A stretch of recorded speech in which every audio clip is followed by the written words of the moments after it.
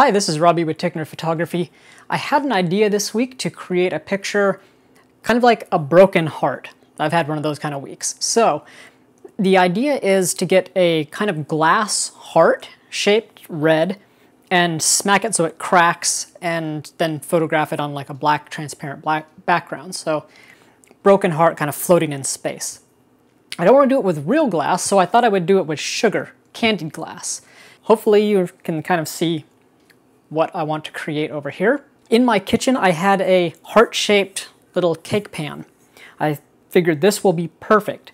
I'm going to melt sugar up to the hard crack stage, which is about 300 degrees, with a drop of food coloring.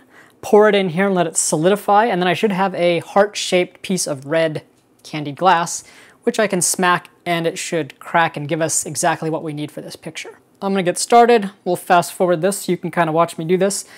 The key here is just monitoring temperature of sugar. I'll add sugar, food coloring, a little bit of water to my pan and then heat it up. Typically I'd use a candy thermometer to get it to 300 degrees. You don't want to get it too high. Bad things happen to sugar when it gets too hot. But since this is going to be such a small amount of sugar, I don't know if my candy thermometer will be able to get in there and measure it accurately, so I'm going to use my infrared thermometer instead. That should work. That's the theory at least. So let me get started infrared thermometer. Very useful in the kitchen. Filling my little cake pan about halfway up.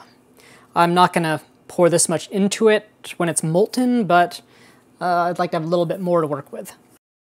We add a little bit of water to the sugar. It helps the melting process because the sugar will dissolve into the water. You're less likely to burn the sugar on the bottom of the pan while it's waiting to, uh, to liquefy. And red food coloring, I'll use about two drops. And that should do it. Since there's so little sugar in here, this will probably heat up very quickly. So I'll give it a shot. I'm also going to very slightly lube this so I can get this out again. So now our non-stick heart should be lubed. Turn this on. So when working with sugar, you can usually stir it until it starts boiling, and then you're not supposed to touch it again, otherwise it can pre-crystallize. Uh, Shouldn't be a problem for what we're doing though. So our water came out of the fridge, so it's a bit cold. This should take a minute to get up to boiling. We're already at 110, so we're moving up. Now it's like watching water boil. Isn't this fun? And we're officially boiling. So now the objective is to boil out all of the water, pretty much. The temperature of sugar when it's boiling goes up to about 200 and stays there for a while, and it'll slowly increase to uh, 212 as it boils off most of the water, because water can't get hotter than that. But once you get beyond that, the process goes rather fast.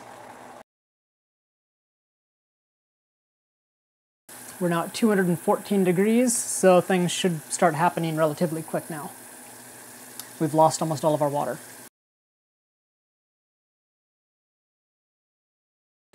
All right, clapping quick now.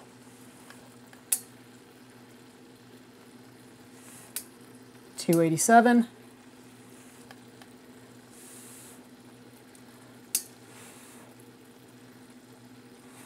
There we are, 300.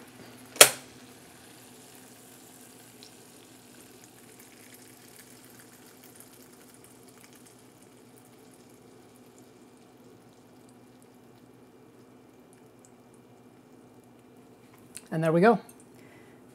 Poured. There we are. So now we just need to let this solidify. It's going to be extraordinarily hot right now, so don't touch. And so after maybe five minutes, this will solidify. And then we'll start, well, I'll extract it from here somehow. And then we'll go start working on our lighting setup and our configuration for the photo. So I'll be back in a minute. All right, and here we are. We have a candied glass heart. So, I'm going to take this on my plate. And, oops, hopefully, give it a couple cracks.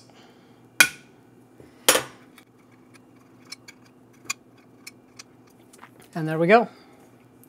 We have a broken heart. So now let's go figure out our photo setup. All right, so now we're getting ready to photograph our uh, broken heart. I have a pretty simple setup here. I have the candied heart on top of a sheet of glass, and then I have that raised above some black uh, construction paper. That should allow the black underneath it to get a little bit more dark so we can use Lightroom to make it completely black. Um, otherwise, I just have it elevated off the ground so I can access it easier. Right now, I'm gonna try this with just one flash. I have a beauty dish on it just because I think that'll work. I may end up additionally using a speed light and blasting a little bit of light underneath so it shines through the candied glass just a little bit. So I think I'm gonna shoot almost straight down at this at a slight angle. I'll be using the Sony Alpha A77 with Zeiss 24 to 72 8 lens, probably guessing around 40 or 50 millimeters, and probably f14, f16 at 1 250th of a second, so we're at max sync speed, so we can cancel out all of the light around here, make this as dark as possible. Want this emotional. So that's why we're using one light. I'm gonna hit it kind of at an angle, try and make this as emotional as possible. So I'm gonna get started and we'll see what we're able to get. So now, I'm, now I'm gonna get a speed light under here. We'll try and adjust some light, blast it around. I may shoot a few of these and then put together the pieces of each image that I like the, that I like the best. So. Okay, I think we got something we can work with. We'll move these into Lightroom and kind of see what we get. Unfortunately, one of the little pieces of my candied glass, for some reason, it has a different texture on it. It's opaque instead of transparent. Um, it left a little bit of like a wet spot on the bottom of my pan. I don't know if there was a little bit of oil in there um, that I didn't wipe out. Something was a little bit different with one piece, which is kind of frustrating, but I think we can deal with it. So let's go put these into Lightroom and see what this actually looks like. All right, so here is our heart, our glass heart, and I think it looks pretty good even the knife marks here kind of are interesting. But you can see how this piece has a different texture than the rest. I kind of wish it was all looking like that, but well, once I figure out exactly what went wrong, I might try this again. So here's one edit. Might do a secondary one and then merge them in Lightroom.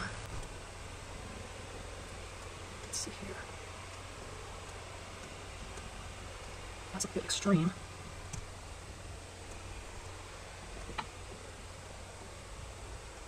Okay, I can put those two together in certain parts. I think that will work. These two. Alright. So now we'll edit these two in Photoshop, put them together, and see what we come up with. Here we are in Lightroom have our heart, layer one, layer two. So layer one, this is a darker color. I'm to use this just to highlight. So I'm to add a layer mask, invert it so it's basically invisible. To grab a pretty big brush that's not very opaque and we're going to paint a little bit of this. First we'll a little bit in the background.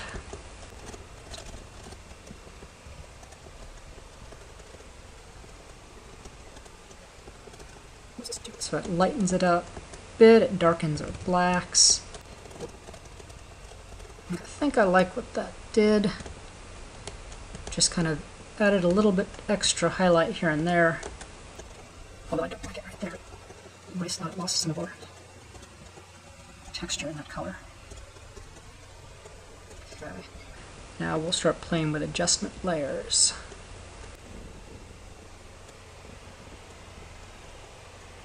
Okay, like this in certain areas.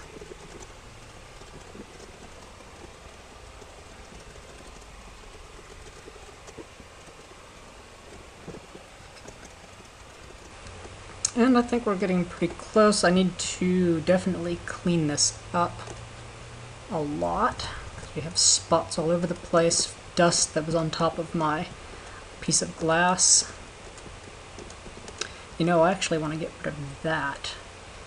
Let's see here, what would be the best way to do that? I'm going to put all of our layers inside of a group.